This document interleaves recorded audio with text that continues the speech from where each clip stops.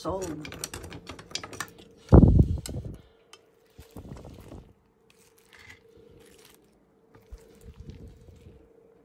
Sold na. Hmm, madali ang luto. After work, ayan. Let's see it.